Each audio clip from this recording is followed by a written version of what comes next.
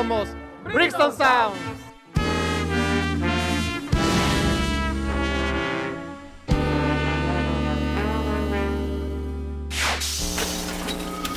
La banda surgió como una inquietud de varios compañeros. Surgió en el año 2000. Todos teníamos instrumentos, pero pues, cada quien lo tenía guardado.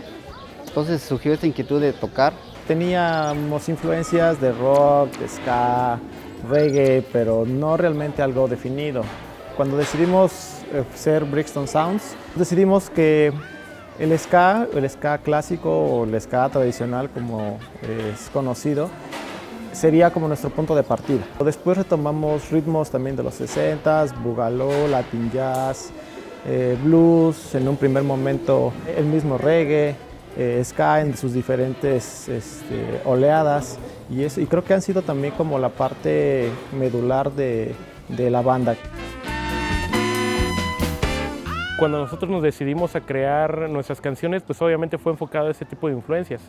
Nosotros empezamos a crear porque primero pues sentimos una necesidad de crear, teníamos esa inquietud y pues también la banda necesitaba trascender, ¿no? Trascender con un material que fuera propio, que fuera totalmente original, bajo nuestras, nuestro estilo, pero pues con esas influencias. El nombre de Brixton surge a raíz de una tarde eh, en el ensayo. Nosotros veníamos de un, de un nombre diferente, nos llamamos Látex, y nosotros veníamos eh, a demostrar algo diferente, ya con nuevos integrantes, que ya era lo que era el género Sky Reggae. Y en sí Brixton Sound significa, Brixton es la ciudad donde llegan todos los inmigrantes jamaicanos a Inglaterra. Y de ahí, y sonidos, pues obviamente, sonidos de Brixton.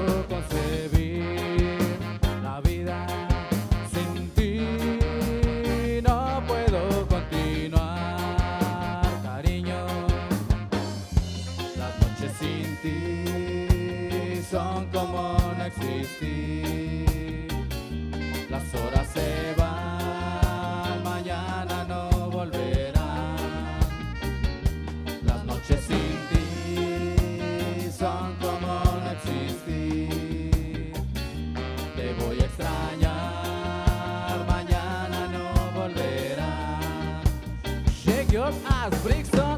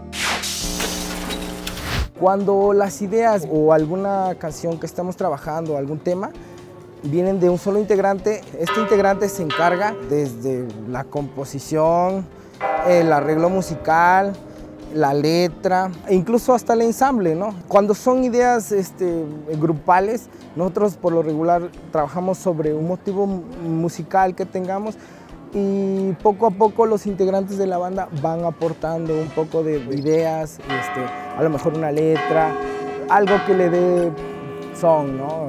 Este, a, a la rola. Perdiendo el tiempo fue el primer disco que grabamos en el 2005. Es un disco que fue un parteaguas en cuanto a dejar la parte de covers de lo que se había hecho en un principio y ya lo nuevo, la propuesta que teníamos para hacer música.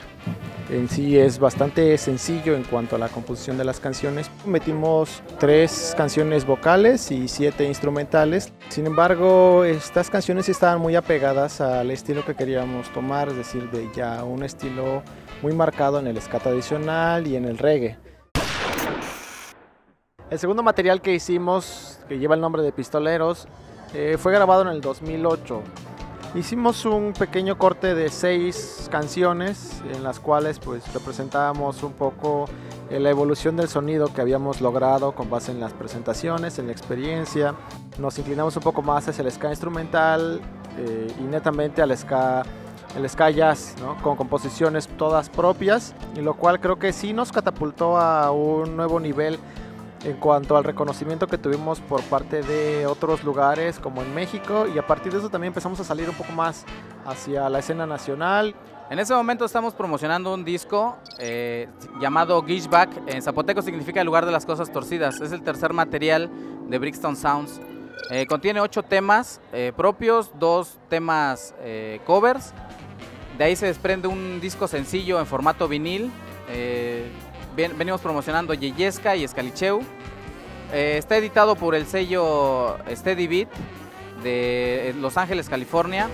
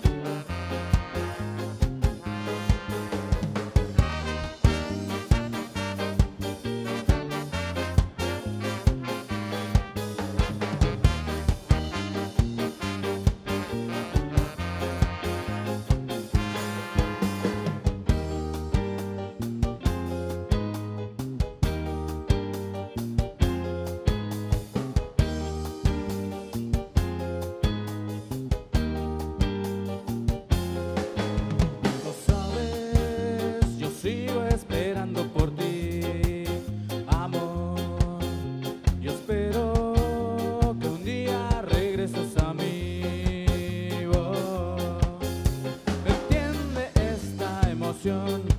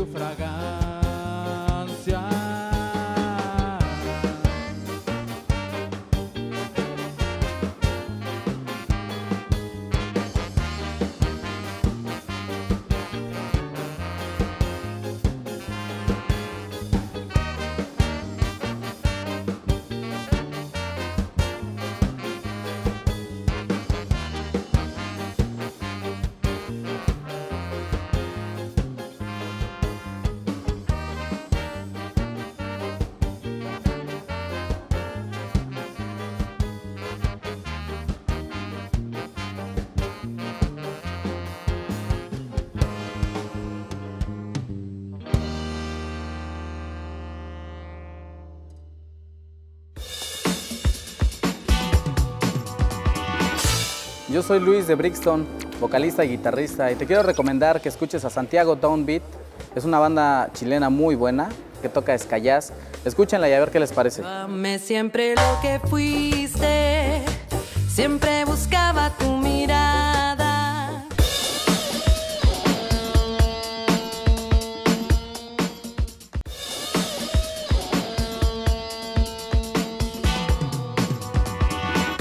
Hemos tenido la oportunidad de, de salir a otros lugares, bueno, lo que es este Puebla, el estado de, de México, en alguna ocasión pues también lo que es la costa de Oaxaca. Hemos recibido muchas invitaciones, incluso a colaborar en ciertos proyectos de grabación. Una de las más importantes también fue en el Festival Quetzalcoatl en el 2009, donde es un foro muy importante y tocaron muchísimas bandas nacionales y extranjeras. Y pues el hecho de que Brixton estuviera ahí, pues también nos, nos, abrió puertas, la gente nos empezó a conocer más, pudimos promocionar nuestro material y pues eso para nosotros es muy grato, ¿no? Realmente nos sentimos muy contentos. Bueno, pues todo esto este, se ha dado gracias a, a gente que, que estando lejos de acá, de lo que es la ciudad de Oaxaca, pues nos escucha y este, la propuesta que tenemos pues, pues les agrada, ¿no? Ya que también es un reto tocar música propia, ¿no? O sea, este, gracias a Dios la gente ha respondido, le ha gustado. Y yo creo que en ocasiones este, es mucho, mucho mejor todavía este, el impacto que, que, tiene Brixton fuera eh, de nuestro estado que incluso aquí, pues, ¿no?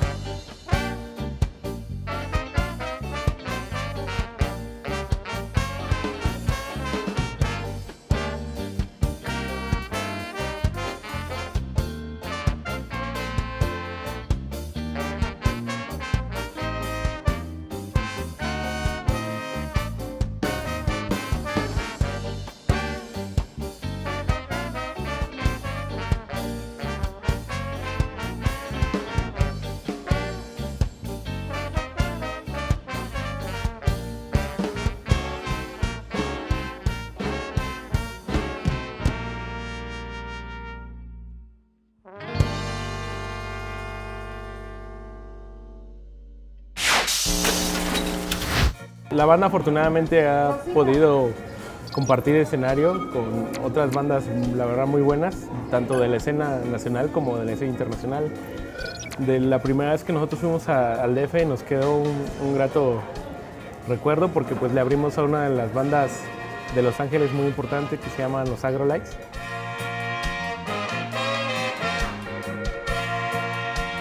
Bueno, a Chris Murray lo conocimos por el año 2006. Él pidió en ese entonces tocar con nosotros, conocernos. Eh, un domingo vino a Tlacolula, lo llevamos al cuarto donde ensayábamos y tres años después eh, regresó a Oaxaca exclusivamente a tocar con nosotros. Hicimos una mini gira. Eh, fue el primer acercamiento que tuvimos con una de las bandas, vamos a llamar internacionales y digamos una, una estrella del ska. Y pues para nosotros fue demasiado gusto y, no- y creo que hasta Chris Murray se quedó con una muy buena impresión de Brixton y sobre lo que estábamos haciendo sobre el ska también.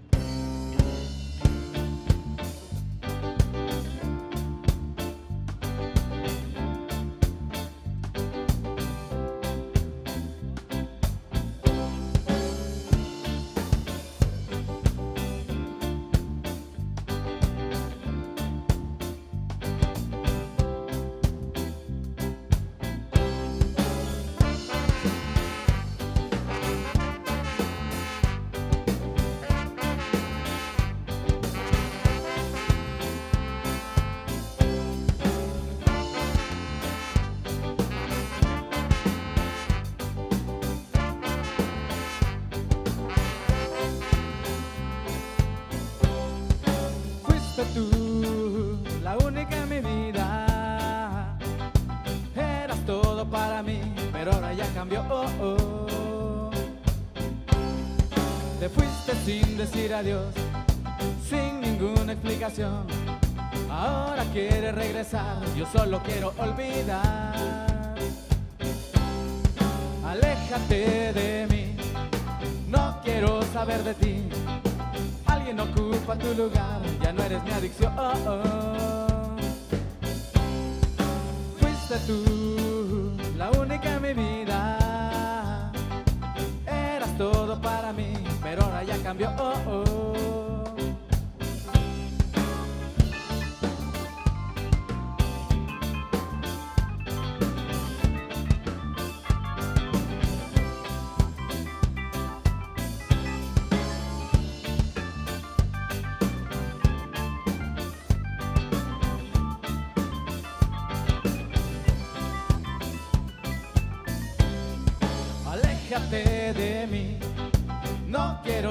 de ti. Alguien ocupa tu lugar, ya no eres mi adicción. Fuiste tú la única en mi vida. Eras todo para mí, pero ahora ya cambió.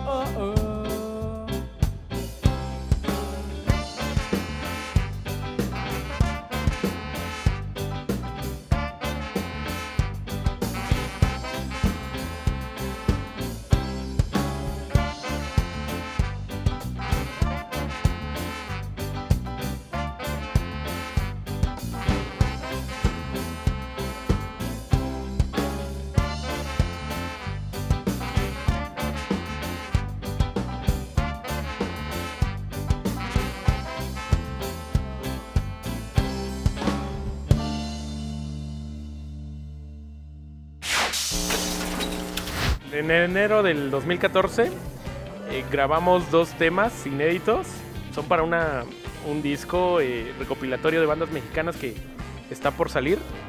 Esos temas, bueno, el primero cuenta con, con voz. eh, la banda casi no compone letras, pero pues nos animamos a hacer una con voz nuevamente, se llama Ausencia, y otra instrumental que ya, eh, bueno, en nuestras influencias pues tratamos de reflejar el Latin Jazz y el ska latino y pues se llama Epitafio.